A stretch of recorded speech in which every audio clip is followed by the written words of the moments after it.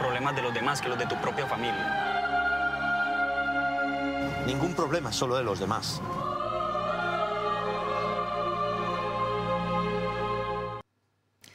Was a clip from Fernando Trueba's Forgotten We'll Be, which was released under the title Memories of My Father in the UK. Trueba is an award winning Spanish director, screenwriter, and producer. The former film critic has been recognized by his peers with multiple Goyas, a BAFTA, an Oscar, a Silver Bear, and more. His latest movie is an adaptation of Oblivion, a memoir written by the son of Colombian public health activist Hector Abad Gomez, who was assassinated in Medellin in 1987. It's a pleasure to have you. Hello. My pleasure. Hello. You gifted the uh, memoir Oblivion to your friends and family several times over the years. What made you want to make a film adaptation of the book? Well, uh, in the beginning, I, I, I, never thought of making a film adaptation, but the, um, uh, the producer and the author of the book approached me, and my first reaction was, it's impossible. It's, it's too intimate, too uh, personal. How can you do a movie uh, from that? No, but finally, I, I thought and, and, and, and I decided I, I, would like to make it, and, and I'm happy that I changed my mind. But my first uh, impression was it was impossible. I, I loved too much the book. What made you change your mind? I think that I, uh, I thought that uh, this character of this doctor and the story, so beautiful the story of the, it's, it's a love story of a son and his father, should be told. No? Obviously, it's told in the in the book, but uh, with a movie you can uh, uh, touch more people. No? And uh, and also, I thought that was an opportunity of make a good film and good cinema with from that. Right, Forgotten We'll Be is told from the point of view of uh, the son, Hector Jr. There are two time frames, his childhood and his and his youngish adulthood. You made the very interesting choice of filming the past in color and the present in, in black and white. Why? I, I the truth is, I never took the decision. Is uh, when you are going to make a movie, you, uh, the movie lives in your head for for months, no? Uh, before it's, uh, you get it made. So it was like that in my mind. So it, it was my dream was like that. So I decided to follow my instinct and made it uh, made the film as I dreamed it. Right, it really does look like the sun is hugging the screen in parts of Forgotten We'll Be. Take a look. Fuiste el primero que se atrevió a hablar de salud pública en este país. De este momento eres imprescindible para el futuro de este país. las manos te llevas a la boca todas las bacterias recogidas durante el día. Tú y yo sabemos que si Dios de verdad existe, a él no le va a preocupar si lo adoramos o no. Now, Spanish actor Javier Camara delivers a convincing performance as Dr. Gomez. Camara is also well known for collaborating with your fellow countryman Pedro Almodovar. Why did you pick Camara and what was it like working with him? Well, working with him is always a joy, and that was one of the most important things for me uh, to have in the movie, because the movie is about uh, a man who loved life and who had an incredible joy of life. When you, when I was research, uh, researching for the movie, in all the photographs that exist of him, he's always laughing out loud, you know, with a big open mouth. And uh, this is a thing that even if you are the best actor in the world, you can't fake. It, uh, you must have it. And, and Javier, uh, apart from being an incredible actor, he has this uh, love of life. All right, film, uh, film lovers might be most familiar with your work with Penelope Cruz in The Girl of Your Dreams, The Queen of Spain, and the Oscar winning film Belle Epoque. They're comedies, satires with um, imperfect but lovable characters. This time you made a hero who's admirable from the beginning to the end, through and through. Why is this? Well, for me, it's not a hero. I think uh, we uh, we use too much the, the, the, word hero today. I think he's better than that. We don't need heroes. We need real human beings in the in the world we live. We spend too much time talking about heroes and superheroes. We need a hero every week. One week is the uh, the firemen, another week the doctors, another week uh, whatever. I think uh, we need that uh, people act as real humans and think about the real problems of the human race and, and, and of the planet and uh, things like that. And I, what is great about uh, Dr. Hector Abad Gomez is that he was a man with uh, big letters.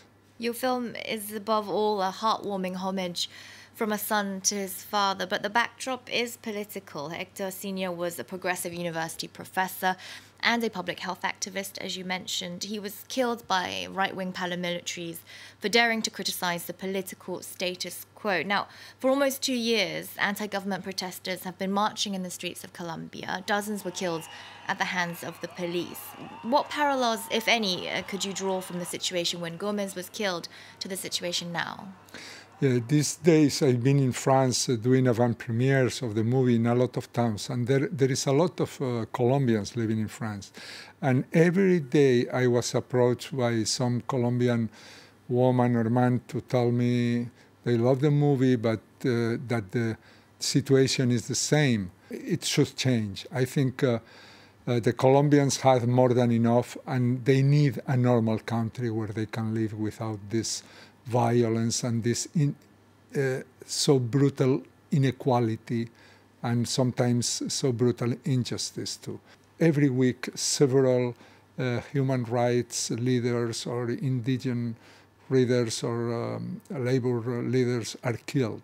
So it's uh, uh, too, too many for what a country can really uh, bear. Now, violence is uh, the topic of a new exhibit by Colombian sculptor Doris Salcedo. Um, her exhibit is open in Bogota and she's commemorating dead protesters under Ivan Duque's government. It's called Stolen Lives, and uh, in it you see black and white portraits. Let's take a listen to the reasoning behind her project. We cannot fix national problems, but we can ask the country to pause. This bewildering time of catastrophe, death, and tragedy has to stop. Have you seen uh, Doris Salcedo's work before? Uh, I've seen uh, things uh, from her in the papers and some on TV, but I'm not uh, so familiar with it.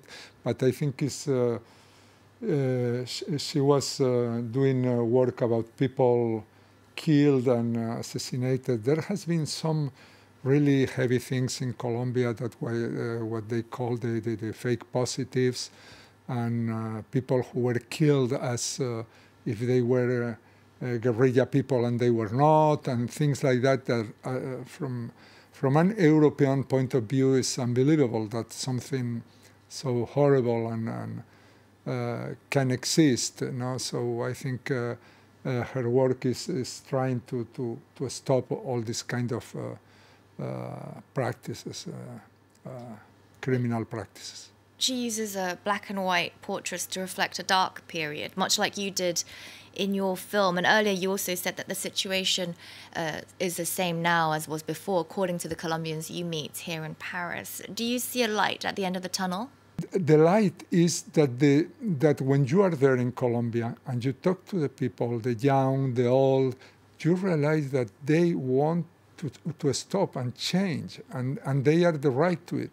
They are the right to live in a normal place. No, uh, every time they, uh, uh, when they know I'm Spanish, they say, "Oh, Madrid," uh, because they love Madrid, the Colombians, because they speak Spanish in Madrid, and you can walk in the streets at, at four in the morning without uh, feeling danger.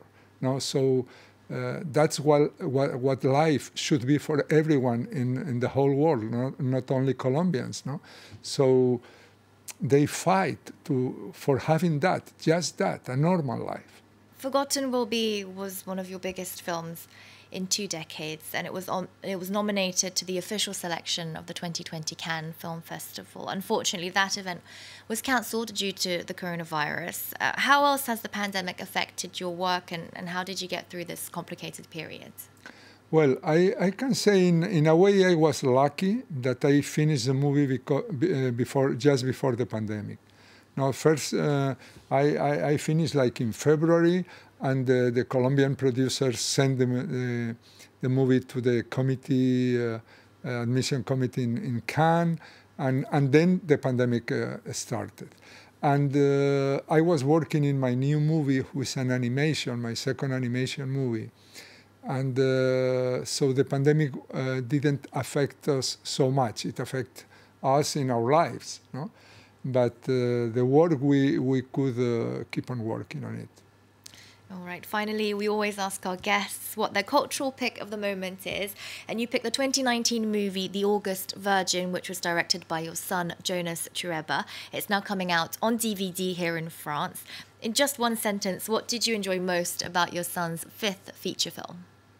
I, I, uh, the movies of my son, I can feel the love of cinema that he has, and the love of life too.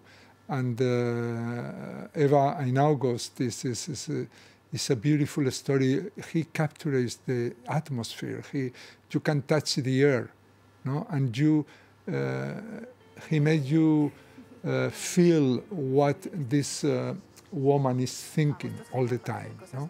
You are not just listening what she says, but you are watching what she thinks. That's uh, really uh, impressed me. All right, we'll leave you with a clip of that in just a second. Your film, Forgotten We'll Be, is out in French cinema. Thank you, Fernando Trueba, for coming to the show. And thank you thank for you. watching. Remember our website, Twitter, and Instagram. There's more news coming up after this.